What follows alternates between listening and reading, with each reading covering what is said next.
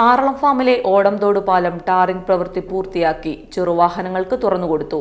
ആറളം പേരാവൂർ പഞ്ചായത്തുകളെ തമ്മിൽ ബന്ധിപ്പിക്കുന്ന പാലം യാഥാർത്ഥ്യമായതിന്റെ സന്തോഷത്തിലാണ് നാട്ടുകാർ. ഔദ്യോഗിക ഉദ്ഘാടനം നടത്താൻ ഇനിയും സമയമുണ്ടെങ്കിലും പാലം ചെറുവാഹനങ്ങൾക്കായി തുറന്നു കൊടുത്തതിന്റെ സന്തോഷത്തിൽ മതിമറന്നിരിക്കുകയാണ് ആറളത്തെ ജനങ്ങൾ. രണ്ടായിരത്തി പത്തൊമ്പതിൽ നബാർഡ് പദ്ധതിയിൽ നിരവധി പദ്ധതികൾ പ്രഖ്യാപിച്ചതിന്റെ കൂട്ടത്തിലാണ് ഓടംതോട് പാലവും നിർമ്മാണം ആരംഭിച്ചത്. തുടക്കത്തിൽ പ്രവൃത്തി ഇഴഞ്ഞു നീങ്ങിയെങ്കിലും മാധ്യമങ്ങളിൽ വാർത്തകൾ വന്നതോടെ പ്രവൃത്തി വേഗത്തിലാക്കുകയായിരുന്നു. എട്ടര കോടിയിലധികം ചിലവഴിച്ചാണ് പാല നിർമ്മാണവും അപ്രോച്ച് റോഡിന്റെ ടാറിംഗ് പ്രവൃത്തിയും പൂർത്തിയാക്കിയത്. ആറളം പായം അയ്യങ്കുന്ന് പഞ്ചായത്തുകളിലെ ജനങ്ങൾക്ക് ഇനി വേഗത്തിൽ വയനാട് കൊട്ടിയൂർ മേഖലകളിൽ എത്തിച്ചേരാൻ കഴിയുമെന്ന പ്രത്യേകത ഈ പാലത്തിനുമുണ്ട്. പാലം ഔദ്യോഗികമായി തുറന്നു കൊടുക്കുന്നതോടെ ഈ റൂട്ടിൽ ബസ് സർവീസ് ആരംഭിക്കാനും സാധ്യത ഏറെയാണ്.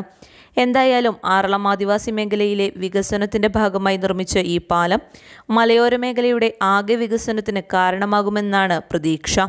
ടാറിംഗ് പ്രവൃത്തി പൂർത്തിയാക്കിയ പാലം ചെറുവാഹനങ്ങൾക്കായി തുറന്നുകൊടുത്തത് ഏറെ ആശ്വാസമാണ്. ഏറെ നാളത്തെ കാത്തിരിപ്പിന് ശേഷം ഓടന്തോട് പാലത്തിന്റെയും അപ്രോച്ച് റോഡിന്റെയും ടാറിംഗ് പ്രവൃത്തിയും പൂർത്തീകരിച്ചിരിക്കുകയാണ്. കഴിഞ്ഞ ദിവസം ചെറുവാഹനങ്ങൾക്കായി ഈ പാലം തുറന്നു കൊടുക്കുകയുണ്ടായി ഒരുപാട് ആഹ്ലാദത്തോടു കൂടിയാണ് ചെറുവാഹനങ്ങൾ ഈ പാലത്തിലൂടെ പേരാവൂരിലേക്കും കൊട്ടിയൂരിലേക്കും കടന്നുപോയത്. ഏറെ നാളത്തെ കാത്തിരിപ്പ് ഒടുവിൽ ഫലം കണ്ടതിൽ നാട്ടുകാർക്കും സന്തോഷം ഏറെയാണ്. ആറളം ഓടന്തോട് പാലത്തിൽ നിന്നും അജീഷിനോടൊപ്പം കെ ബി ഉത്തമൻ ഏജനറ്റ് ന്യൂസ്.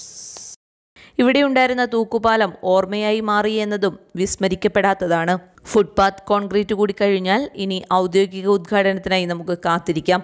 ഉടൻ ഉണ്ടാകുമെന്ന പ്രതീക്ഷയിൽ. News bureau Iritty.